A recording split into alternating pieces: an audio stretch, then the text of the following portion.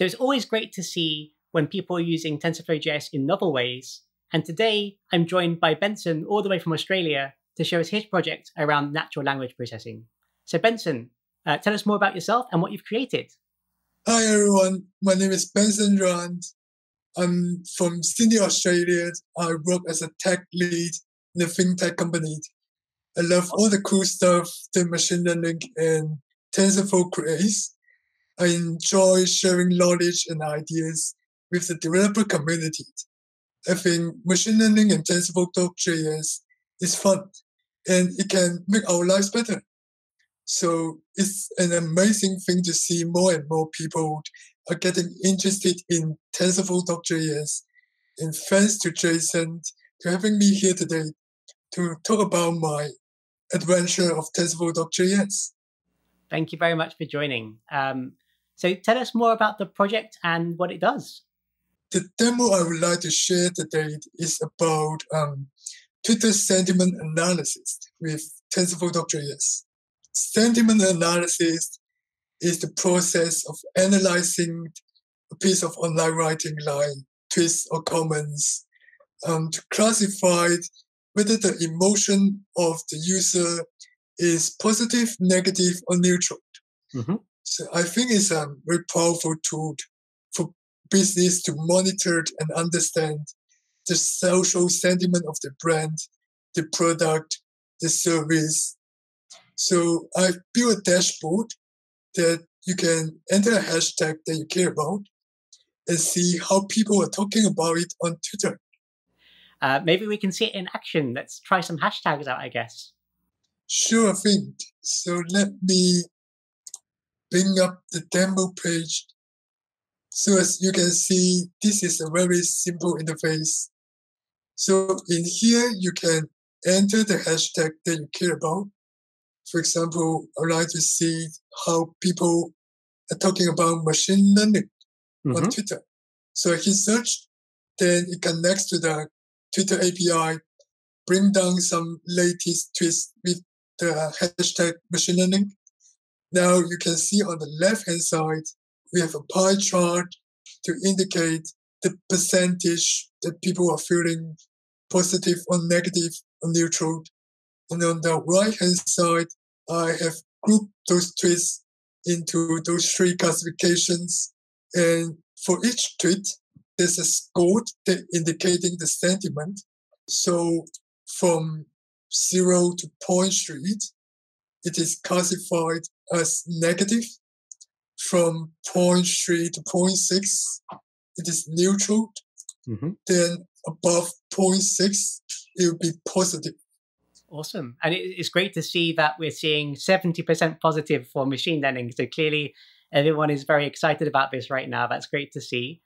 And maybe one more for luck, um, something random again. What can we do? Feel free to pick anything you like. How about um, dessert? Dessert, yes. Something very dear to my heart. I think this is definitely working as intended. Uh, I'm sure that most people are going to be positive about desserts. Very cool. So, so tell us more about how this is working behind the scenes. Ben, maybe you can show us more details. Sure. So I implemented this demo by five simple steps. So start with, you need to register a Twitter API. Mm-hmm. So you need to go to the Twitter developers platform register and create a Twitter app yeah. and generate the API key and the access key for you to use. Sure. The second step is to get tweets from the Twitter search API. Mm-hmm. Now you connect to the Twitter search API, you pass the hashtag in your query, and then you can pull down some latest tweets from the Twitter with your hashtag. And these are pulling back tweets uh, from all time or the last few minutes or? It would be the last 10 minutes. Okay, cool. The first step is to load the sentiment model into the browser. So this is done by calling the tf.load layers model function inside TensorFlow.js. Uh-huh, yeah. Then the model will be loaded into the browser.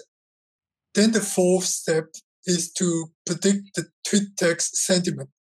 So for each of the tweet text, feed the tweet text through the model that we loaded into the browser and use the model.predict function inside TensorFlow.js. Then it will perform the sentiment analysis and returned a score between 0 and 1 to indicate whether it's positive, negative, or neutral. Then the last step is just displaying it, the result in a pie chart and group those tweets into three classifications. So awesome. that's yeah. pretty much how I implemented it. I think it's simple and it would be a good starting point for beginners of machine learning to build a side project using TensorFlow.js. Cool. Well, that, that's awesome. I'm sure other people might be interested in this as well. So, um, if people want to try this out right now, can they? Is this live somewhere that people can can find this website and try it out themselves? Um, go to the URL in the description below. So that's the demo's URL. I've also sure. documented the implementation details of the demo and the source code is also available open source in GitHub. Sounds good. And I guess looking towards the future, uh, where do you see this going in the future? Are you going to turn this into like a service or maybe um, add more features? What plans do you have uh, further down the line? I think to take this to the next level, there are several things to be on my to-do list. Firstly, I can integrate it with um, some other social media platforms like nice. Facebook, Reddit, Quora. Secondly, um, I can expand the model for other languages like Chinese, oh, very nice. Spanish, yeah, very useful. French. Yeah. And lastly, I think it'd be more powerful to use it together with other natural language processing techniques yeah. like contextual semantic search so that you can also find out what aspect of the brand is user discussing about, whether they're complaining about the price or the um, customer service or the product quality. Sure. So I think yeah. it'll be very useful.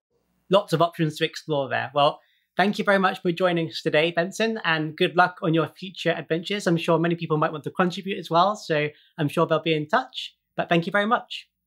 Thank you for having me.